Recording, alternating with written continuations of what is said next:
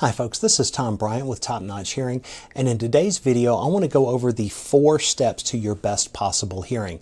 Now step number one is we want you to go have your hearing tested you, you want to go to a, a local provider who's going to, we want, we want them to look inside your ear canal, make sure that everything looks good and healthy, make sure you don't have too much wax in your ear canal. We want to get a good, accurate hearing test so that we want to rule out that there's not any kind of medical condition that's causing your hearing loss. But now understand, if you do have a hearing loss, there's a greater than 90% chance that hearing aids are going to be the only treatment option available to you. So step number two is you want to get us a copy of the test results. Now you can email those to us, you can fax them to us. Um, some people have actually been able to get their local provider to email the test results to them, and then they could just forward the test results to us, which is is might be the easiest option. But uh, once we have those test results, then we can more accurately program the hearing aids to your specific loss. But we're also, we can more accurately give you uh, guidance on, on what hearing aids you might want to choose. Now, step three is choosing your hearing aid. Now, there's a couple of things that, um, you know, a lot people have all different kinds of questions when it comes to what kind of hearing aid should I get. Uh, a couple of things that we can tell you just to generally is that when it comes to choosing the color, you want to get the hearing aid that most closely matches your hair color. Don't try to match the skin color because that's very difficult to accomplish. And if we get clo- the closer we are to your hair color, the more um, the more easily disguised the hearing aids are. And so, so choose your hair color or the hearing aid that's most closest to your hair color.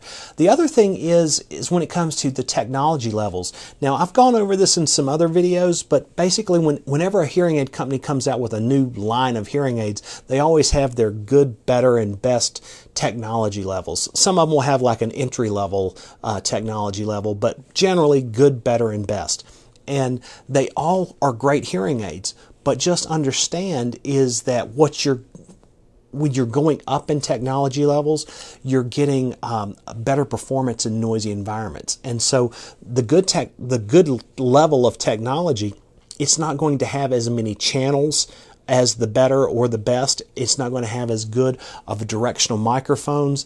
Um, what the channels are is that you know, if you think of an old stereo equalizers, and it would have all those little bands that you could be very make very minute, precise adjustments to the the, the, the sound of the the stereo.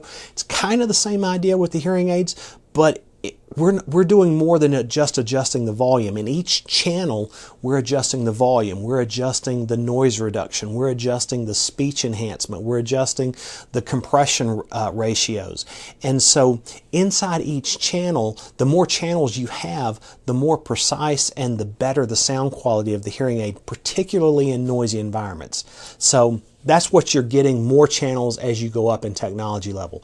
The directional microphones, the good level of technology, it's again, it's great, but it's generally just kind of differentiates between quiet environments and noisy environments. And so when you go into those noisy environments, the rear microphones, they kind of attenuate the forward microphone stays on. So what's happening is it's kind of generally just everything in front of you is amplified. As you go up in technology levels, the top tier technology level, what ends up happening is the four microphones are working together to scan the environment. And when they detect speech, they triangulate on the speech and zoom in on it and kind of make that area where the speech is present louder than everything else. And so you're getting better uh, directional microphone performance, you're also getting more, a better environmental classification.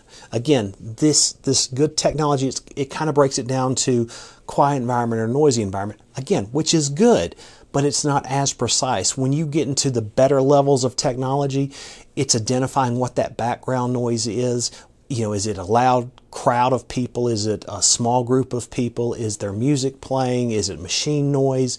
You know all different kinds of things and so the, the more precise it is in at the more precise it is at identifying the background noise the the more filters and the more appropriate filters it's applying to give you your best hearing so that's uh, the third step the fourth step is once you've chosen your hearing aids you just sit back and wait. In about a week to 10 days, your hearing aids are going to arrive, programmed to your specific hearing loss. We're going to send you some information in the meantime, just telling you what to expect and preparing you for, for uh, receiving your hearing aids. But when you get them, it's just pull them out of the box, turn them on, and put them in your ear, and get ready to hear better than you have in years. So, folks, I hope this information helps. Uh, if you have any questions, please don't hesitate to reach out to us. We are here to help you every step of the way. Thank you.